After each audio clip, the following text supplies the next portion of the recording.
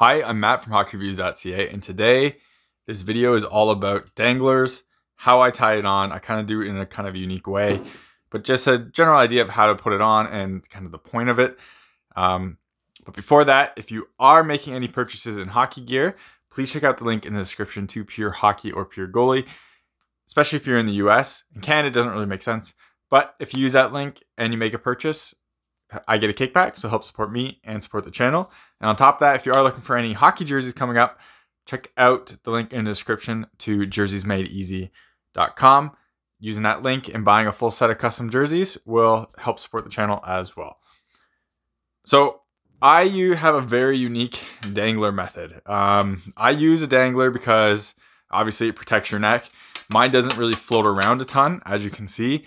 And I always wear a neck guard as well. And this kind of just always gives you that little bit extra protection there. And because it doesn't, like, it still moves around a bit, but it doesn't swing around like a lot of the, you'll see NHL goalies and a lot of people doing it. So I don't really have issues with this really ever getting away. It never can go atop here, so it doesn't get in the way that way. And it can't get below the chin, so it doesn't get in the way there. The only place it really ever gets in the way is on the shoulder caps but the chin of the mask would still get in the way there anyways. This, so you just have to lift it up like you would normally and it kind of just floats over. Not a huge difference there, um, but yeah, so I'm a huge fan of this specific way to do it. I've done it before with just on the side cage. This one I went through the holes because it was easy enough to do there. But the big part about this and kind of the unique part about this is how the front one is designed.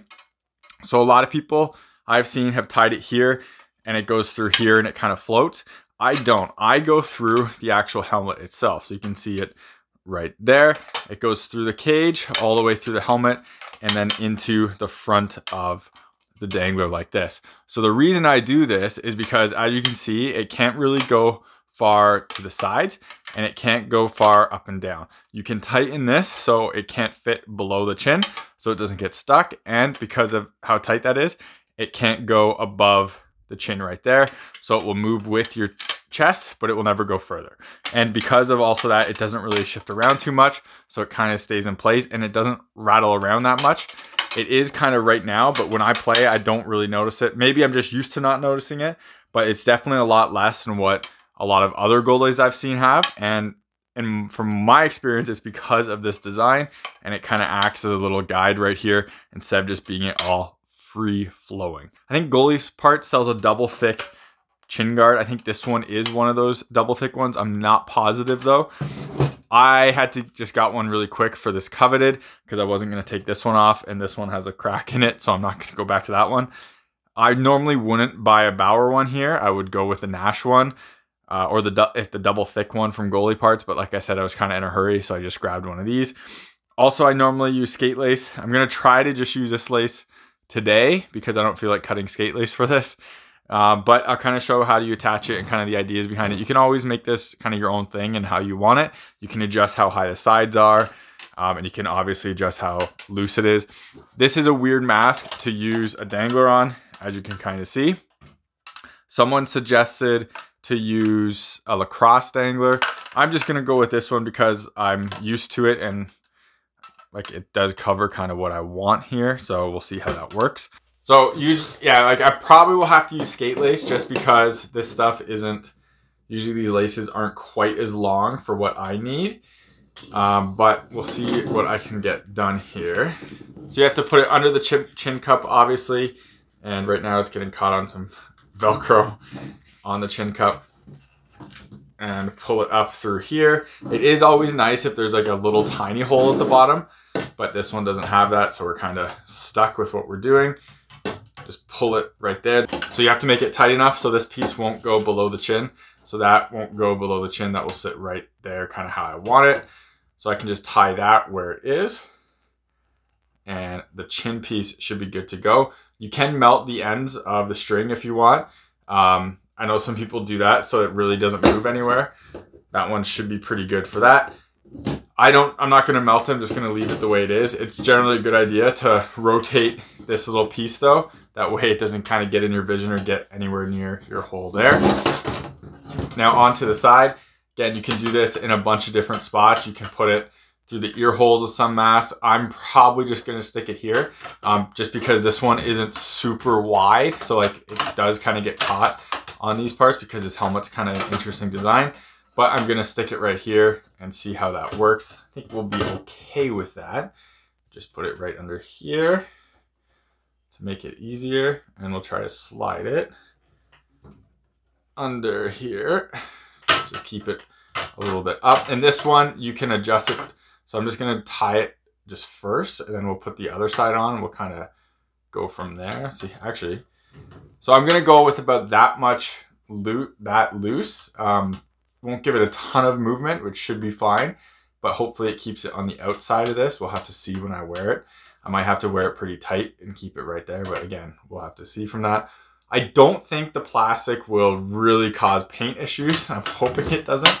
We'll see how that is. Yeah, I'm probably gonna have issues with this, like going up there. Um, so I might have to heat this up and stretch it out. But for the time being, just gonna leave it as is. I'll wear it for a bit, see if I have any issues, and then I can always adjust it in the future. But it's not a huge deal by any means. I'm a lot of people like this is all personal preference how you do this.